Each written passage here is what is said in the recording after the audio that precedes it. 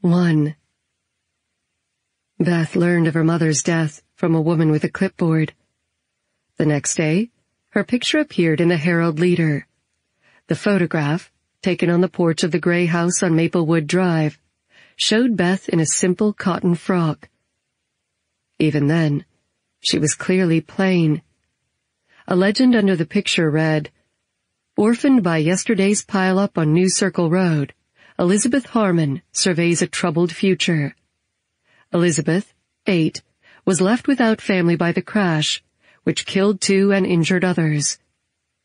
At home, alone at the time, Elizabeth learned of the accident shortly before the photo was taken. She will be well looked after, authorities say.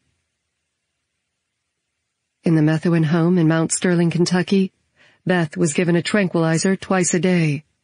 So were all the other children, to even their dispositions.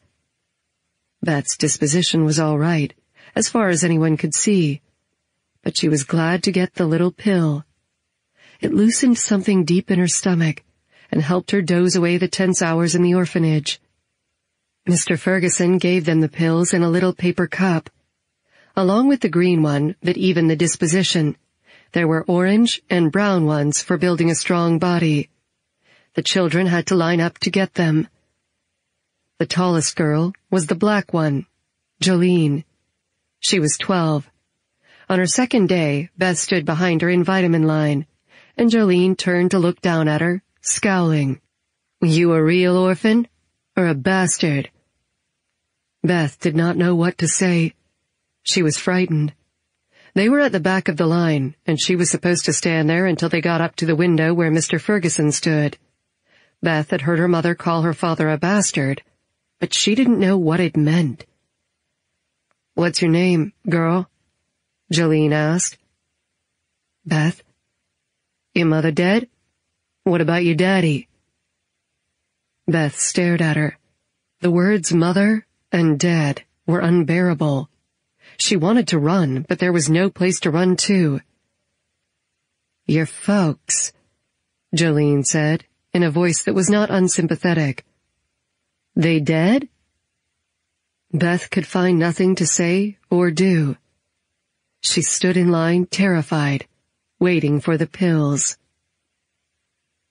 You're all greedy cocksuckers! It was Ralph in the boys' ward who shouted that. She heard it because she was in the library, and it had a window facing boys. She had no mental image for cocksucker, and the word was strange. But she knew from the sound of it they would wash his mouth out with soap. They'd done it to her for damn, and mother had said damn all the time. The barber made her sit absolutely still in the chair. If you move, you might just lose an ear. There was nothing jovial in his voice. Beth sat as quietly as she could, but it was impossible to keep completely still. It took him a very long time to cut her hair into the bangs they all wore. She tried to occupy herself by thinking of that word. Cocksucker. All she could picture was a bird, like a woodpecker. But she felt that was wrong. The janitor was fatter on one side than on the other. His name was Shaibel, Mr. Shaibel. One day, she was sent to the basement to clean the blackboard erasers by clumping them together. And she found him sitting on a metal stool near the furnace, scowling over a green and white checkerboard in front of him. But where the checkers should be, there were little plastic things in funny shapes. Some were larger than others, there were more of the small ones than any of the others. The janitor looked up at her. She left in silence. On Friday, everybody ate fish, Catholic or not. It came in squares, breaded with a dark brown dry crust, and covered with a thick orange sauce, like bottled French dressing. The sauce was sweet and terrible, but the fish beneath it was worse. The taste of it nearly gagged her. But you had to eat every bite, or Mrs. Deardorff would be told about you, and you wouldn't get adopted. Some children got adopted right off. A six-year-old named Alice had come in a month after Beth and was taken in three weeks by some nice-looking people with an accent. They walked through the ward on the day they came for Alice. Beth had wanted to throw her arms around them because they looked happy to her. But she turned away when they glanced at her. Other children had been there a long time and knew they would never leave. They called themselves lifers. Beth wondered if she was a lifer. Gym was bad, and volleyball was the worst. Beth could never hit the ball right. She would slap at it fiercely or push at it with stiff fingers. Once, she hurt her fingers so much that it swelled up afterward. Most of the girls laughed and shouted when they played, but Beth never did.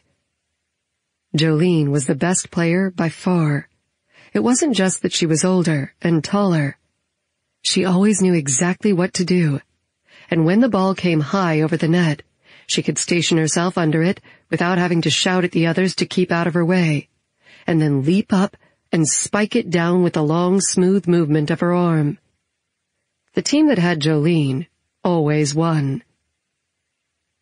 The week after Beth hurt her finger, Jolene stopped her when gym ended, and the others were rushing back to the showers.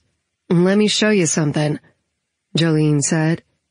She held her hands up with the long fingers open and slightly flexed. You do it like this. She bent her elbows and pushed her hands up smoothly, cupping an imaginary ball. Try it. Beth tried it, awkwardly at first. Jolene showed her again, laughing. Beth tried a few more times and did it better. Then Jolene got the ball and had Beth catch it with her fingertips. After a few times, it got to be easy. You work on that now, here? Jolene said, and ran off to the shower. Beth worked on it over the next week, and after that she did not mind volleyball at all. She did not become good at it, but it wasn't something she was afraid of anymore.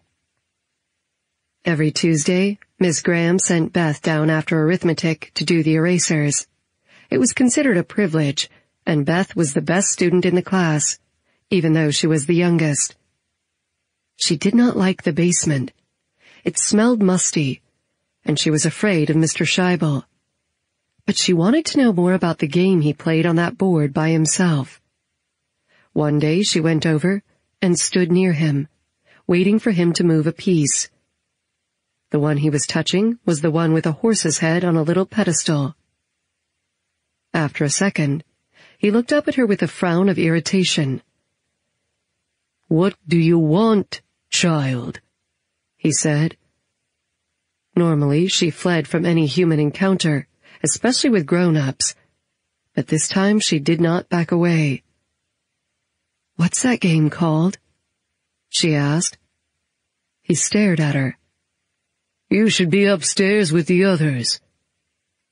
She looked at him levelly. Something about this man and the steadiness with which he played his mysterious game helped her to hold tightly to what she wanted. I don't want to be with the others, she said. I want to know what game you're playing. He looked at her more closely. Then he shrugged. It's called chess. A bare light bulb hung from a black cord between Mr. Shaibel and the furnace. Beth was careful not to let the shadow of her head fall on the board.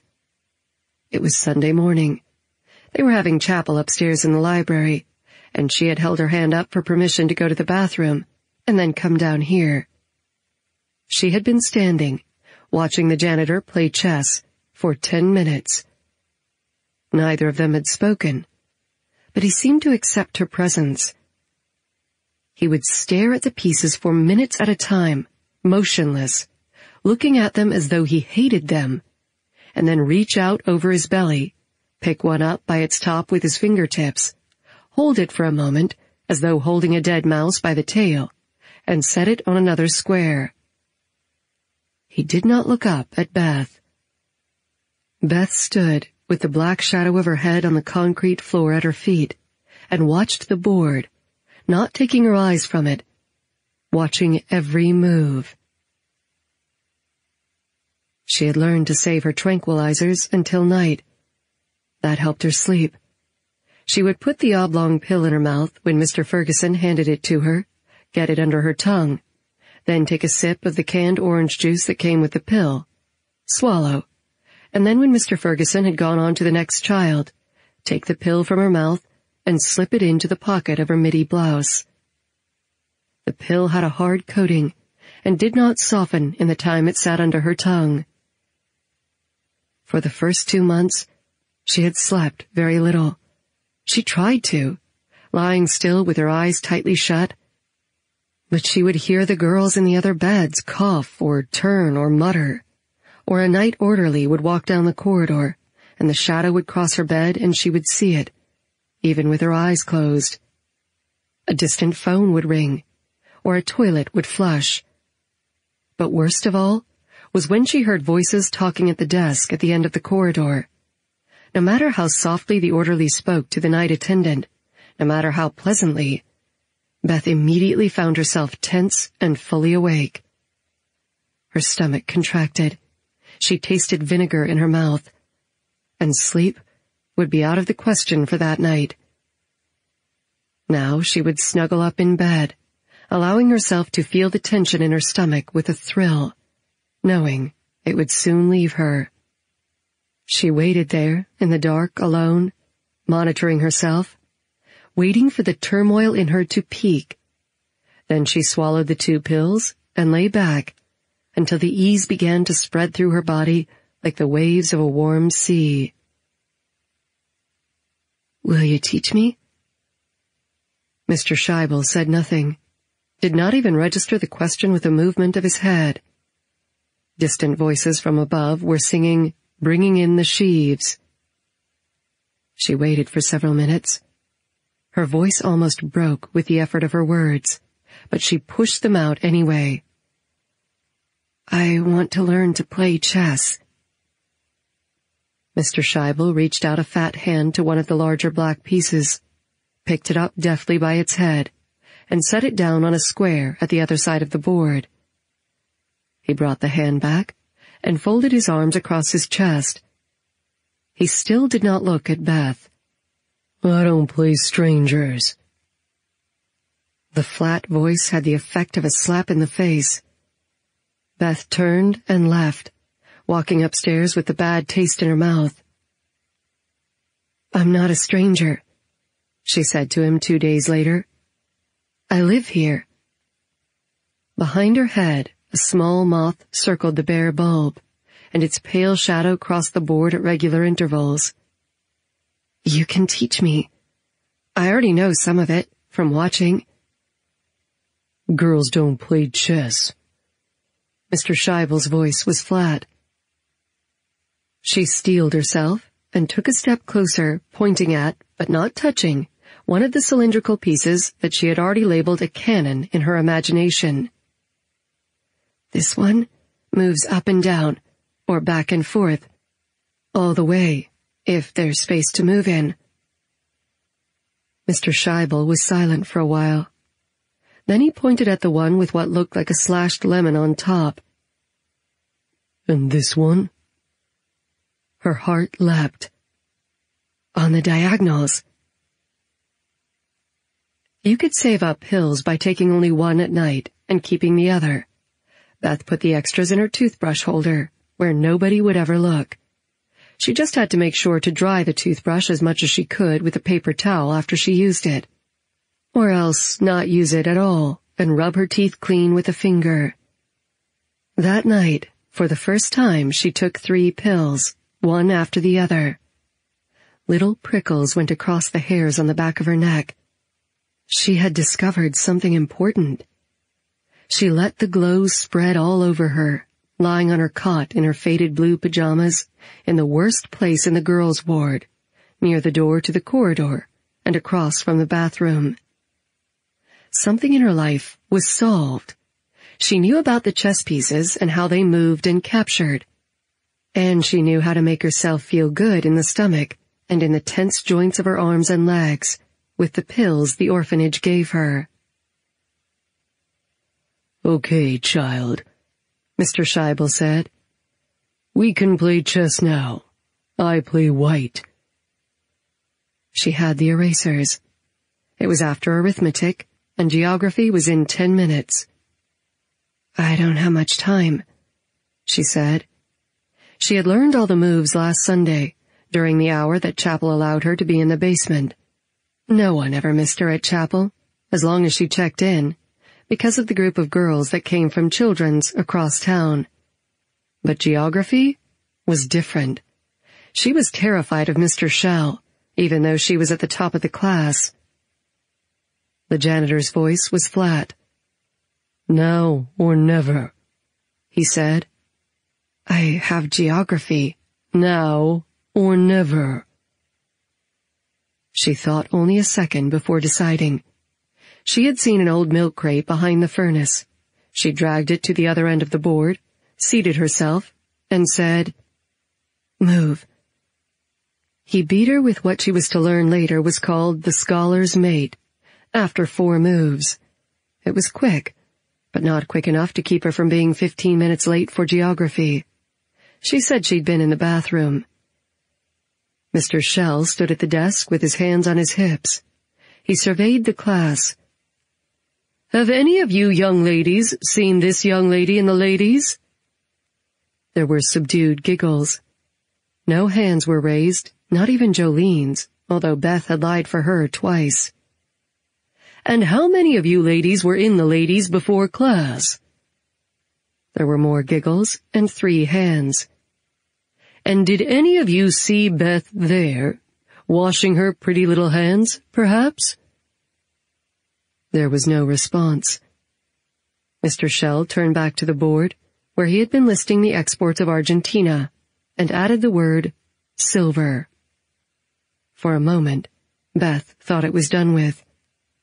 But then he spoke, with his back to the class. Five demerits, he said. With ten demerits, you were whipped on the behind with a leather strap. Beth had felt that strap only in her imagination, but her imagination expanded for a moment with a vision of pain like fire on the soft parts of herself. She put a hand to her heart, feeling in the bottom of the breast pocket of her blouse for that morning's pill. The fear reduced itself perceptibly. She visualized her toothbrush holder, the long rectangular plastic container. It had four more pills in it now, there in the drawer of the little metal stand by her cot. That night, she lay on her back in bed. She had not yet taken the pill in her hand, she listened to the night noises and noticed how they seemed to get louder as her eyes grew accustomed to the darkness. Down the hallway, Mr. Byrne began talking to Mrs. Holland at the desk. Beth's body grew taut at the sound. She blinked and looked at the dark ceiling overhead and forced herself to see the chessboard with its green and white squares. Then she put the pieces on their home squares, rook, knight, bishop, queen, king, and the row of pawns in front of them. Then she moved white's king pawn up to the fourth row. She pushed black's up. She could do this. It was simple. She went on, beginning to replay the game she had lost. She brought Mr. Shaibel's knight up to the third row. It stood there clearly in her mind on the green and white board on the ceiling of the ward. The noises had already faded into a white, harmonious background. Beth lay happily in bed, playing chess. The next Sunday, she blocked the scholar's mate with her king's knight. She had gone over the game in her mind a hundred times until the anger and humiliation were purged from it, leaving the pieces and the board clear in her nighttime vision. When she came to play Mr. Shaibel on Sunday, it was all worked out, and she moved the knight as if in a dream. She loved the feel of the piece, the miniature horse's head in her hand. When she set down the knight on the square, the janitor scowled at it. He took his queen by the head and checked Beth's king with it. But Beth was ready for that, too. She had seen it in bed the night before. It took him fourteen moves to trap her queen. She tried to play on, queenless, to ignore the mortal loss. But he reached out and stopped her hand from touching the pawn she was about to move. You resign now, he said. His voice was rough. Resign? That's right, child. When you lose the queen that way, you resign. She stared at him, not comprehending. He let go of her hand, picked up her black king, and set it on its side on the board. It rolled, back and forth for a moment, and then lay still. No, she said. Yes, you have resigned the game. She wanted to hit him with something. You didn't tell me that in the rules. It's not a rule. It's sportsmanship. She knew now what he meant, but she did not like it. I want to finish, she said. She picked up the king and set it back on its square. No. You've got to finish, she said. He raised his eyebrows and got up. She had never seen him stand in the basement, only out in the halls when he was sweeping or in the classrooms when he washed the blackboards. He had to stoop a bit now to keep his head from hitting the rafters on the low ceiling. No, he said. You lost. It wasn't fair. She had no interest in sportsmanship. She wanted to play and to win. She wanted to win more than she had ever wanted anything. She said a word she had not said since her mother died. Please? Game's over, he said. She stared at him in fury. You greedy! He let his arms drop straight at his sides and said slowly, No more chess. Get out. If only she were bigger. But she wasn't. She got up from the board and walked to the stairs, while the janitor watched her in silence. On Tuesday, when she went down the hall to the basement door carrying the erasers, she found that the door was locked. She pushed against it twice with her hip, but it wouldn't budge. She knocked, softly at first and then loudly, but there was no sound from the other side. It was horrible. She knew he was in there, sitting at the board, that he was just being angry at her from the last time, but there was nothing she could do about it. When she brought back the erasers, Miss Graham didn't even notice they hadn't been cleaned, or that Beth was back sooner than usual. On Thursday, she was certain it would be the same. But it wasn't. The door was open, and when she went down the stairs, Mr. Shaibel acted as though nothing had happened. The pieces were set up. She cleaned the erasers hurriedly and seated herself at the board. Mr. Shaibel had moved his king's pawn by the time she got there. She played her king's pawn, moving it two squares forward. She would not make any mistakes this time. He responded to her move quickly, and she immediately replied. They said nothing to each other but kept moving. Beth could feel the tension, and she liked it. On the twentieth move, Mr. Shaibel advanced a knight when he shouldn't have, and Beth was able to get a pawn to the sixth rank. He brought the knight back. It was a wasted move, and she felt a thrill when she saw him do it. She traded her bishop for the knight. Then, on the next move, she pushed the pawn again it would become a queen on the next move. He looked at it sitting there, and then reached out angrily and toppled his king. Neither of them said anything. It was her first win. All of the tension was gone, and what Beth felt inside herself was as wonderful as anything she had ever felt in her life. She found she could miss lunch on Sundays, and no one paid any attention. That gave her three hours with Mr. Shaibel, until he left for home at 2.30. They did not talk, either of them. He always played the white pieces, moving first, and she the black. She had thought about questioning this, but decided not to. One Sunday, after a game he had barely managed to win, he said to her, You should learn the Sicilian defense. What's that? She asked irritably. She was still smarting from the loss. She had beaten him two games last week. When white moves pawn to queen four, black does this. He reached down and moved the white pawn two squares up the board, his almost invariable first move. Then he picked up the pawn in front of the black queen's bishop and set it down two squares up toward the middle. It was the first time he had ever shown her anything like this. Then what? She said. He picked up the king's knight and set it below and to the right of the pawn. Knight to KB3. What's KB3? King's Bishop 3, where I just put the knight. The squares have names? He nodded impassively. She sensed that he was unwilling to give up even this much information. If you play well, they have names. She leaned forward. Show me. He looked down at her. No, not now. This infuriated her. She understood well enough that a person likes to keep his secrets. She kept hers. Nevertheless, she wanted to lean across the board and slap his face and make him tell her. She sucked in her breath. Is that the Sicilian defense? He seemed relieved that she had dropped the subject of the names of the squares.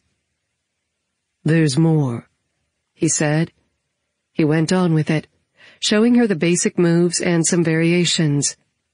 But he did not use the names of the squares. He showed her the Levenfish variation and the Najdorf variation, and told her to go over them. She did, without a single mistake. But, when they played a real game afterward, he pushed his queen's pawn forward, and she could see immediately that what he had just taught her was useless in this situation. She glared at him across the board, feeling that if she had a knife, she could have stabbed him with it. Then she looked back to the board and moved her own queen's pawn forward, determined to beat him. He moved the pawn next to his queen's pawn, the one in front of the bishop. He often did this. Is that one of those things? Like the Sicilian defense? She asked. Openings. He did not look at her. He was watching the board. Is it? He shrugged. The Queen's Gambit. She felt better. She had learned something more from him she decided not to take the offered pawn, to leave the tension on the board. She liked it like that.